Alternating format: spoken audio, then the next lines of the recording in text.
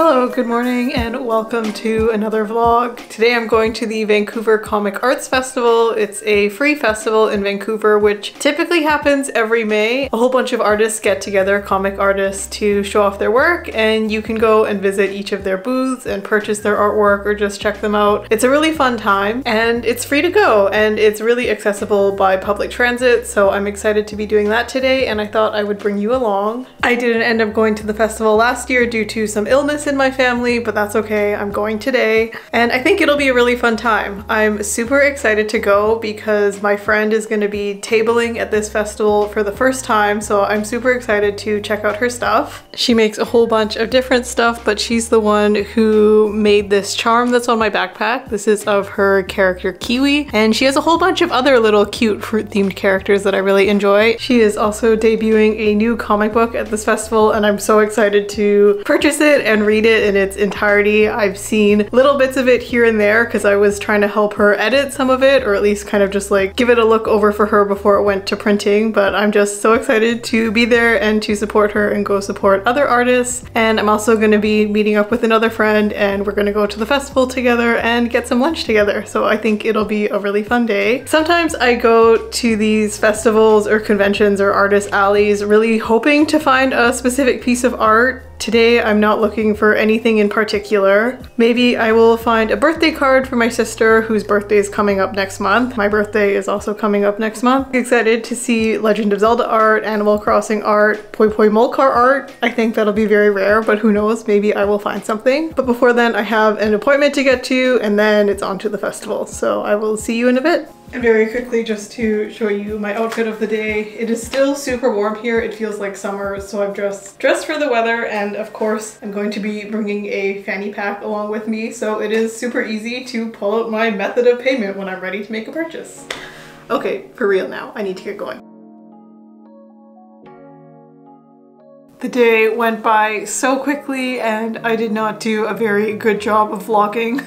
The couple of clips I have were from when I was helping my friend at her booth. She gave me the opportunity to sit behind her booth and help her out with customers and I was so happy to do that. I've always thought it would be so fun to run one of the artist's booth and get to interact with people who are fans of the art. To be able to help my friend out even if it was just for a little while was a lot of fun and a really unique experience to get a behind the scenes view of what goes on at these tables her booth was so wonderfully set up and I'm so glad I could see it in person. And then we just had a little bit of fun with another friend who came by filming some clips and just kind of goofing around. But overall, VanCAF was really wonderful this year. In past years, it's been like really packed, like shoulder to shoulder. It's hard to get into anyone's tables. But I felt like there was like a good mix this year. Like some tables were really busy, but if you came back later, you could easily get into them. And I just really love all the variety,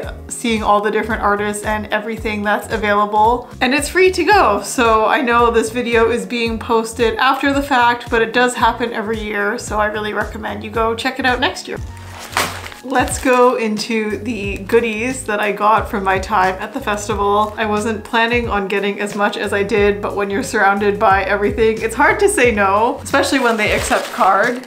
I will be linking all the artists that I can down in the description with whatever handle I have for them. So if something interests you, please go and check them out. A lot of them do have online stores or at least Instagram or other art accounts you can follow. Let's get into it. So the first thing I will share with you is actually this bag itself. I saw the Lucky Cat pattern and I just had to get it. It's by Jen H.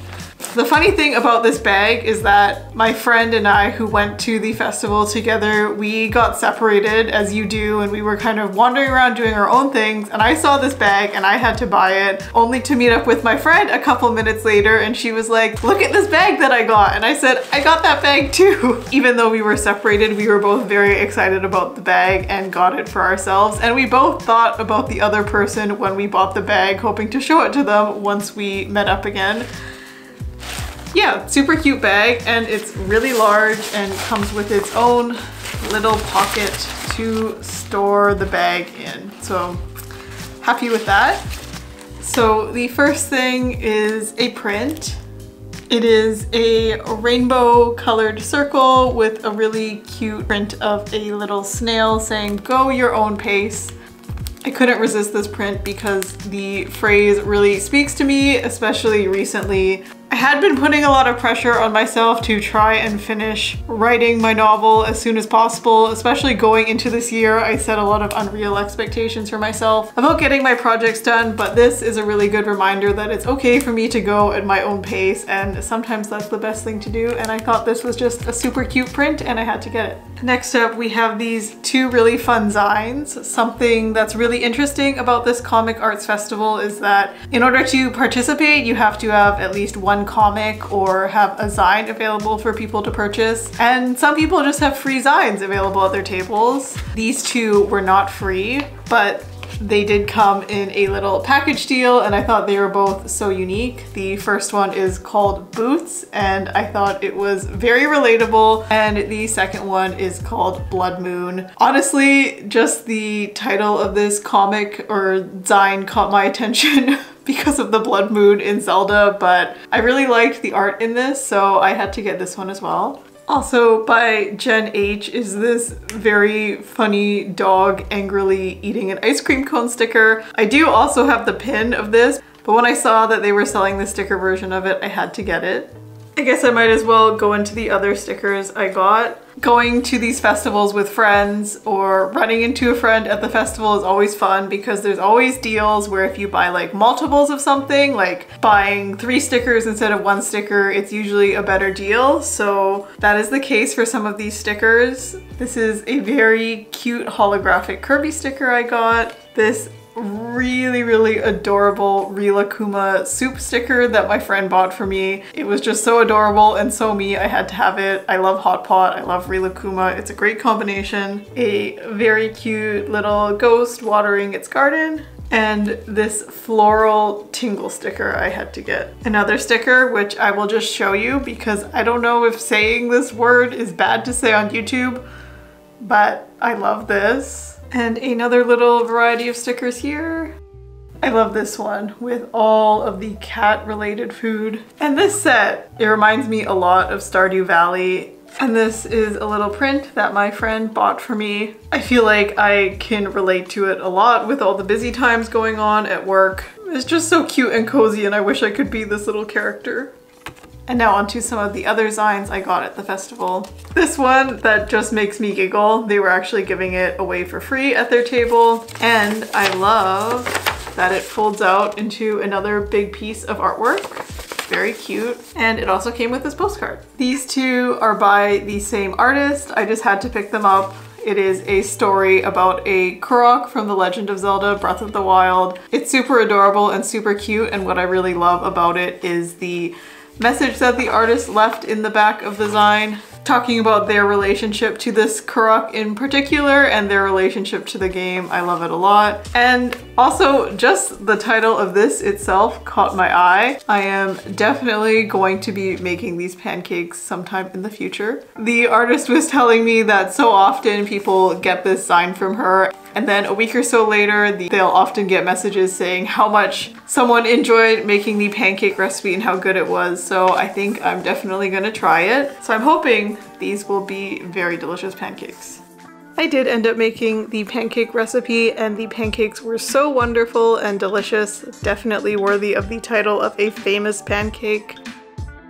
My friend saw this table and she just had to bring me over to it because she thought I could relate a lot to the stuff that this artist was selling. And yes, definitely I picked up this zine called Things I Have Recently Mistaken for Dogs. Very relatable for me. Sometimes I will see objects out in the wild and think they are a puppy and then I have to take a second look to realize more often than not it is not a dog even though I was hoping it was a dog. And I also got these two pins from the same artist. This Pup Life pin my friend said I absolutely had to get because she said that the character in the middle kind of looks like me and yes, if I could hug all of these dogs, I definitely would. And then just this other pin that says, let's do it with a whole bunch of what I'm assuming are a bunch of caffeinated drinks surrounding it. And yes, I do constantly sip on tea while I'm working or writing or doing anything to get things done. So also very relatable to me. And this is one more fun thing that I got. It is a blind bag from the artist who also did the assortment of stickers I showed you. This bag cost $15 and it came with a print, an assortment of stickers, and a pin. I did give the print away to my friend because she just loved it so much. I liked the print too, but just her big reaction to it and how in love she was with it, I thought she would get so much more joy out of it. And I already got joy out of these stickers in here. In the blind bag, I got these large stickers of some plant girls, super cute. And I got another assortment of stickers. I love this bunny one a lot. I think I will actually probably give it to my sister because she also really loves bunnies. So if she likes this one, she can have it. This black cat pin and this really fun temporary tattoo. And I think that's everything that I got today. It was a lot of fun getting these goodies and I can't wait to put them up or put them to use or just enjoy reading them. I do love having a little collection of Zines that I can flip through whenever I want.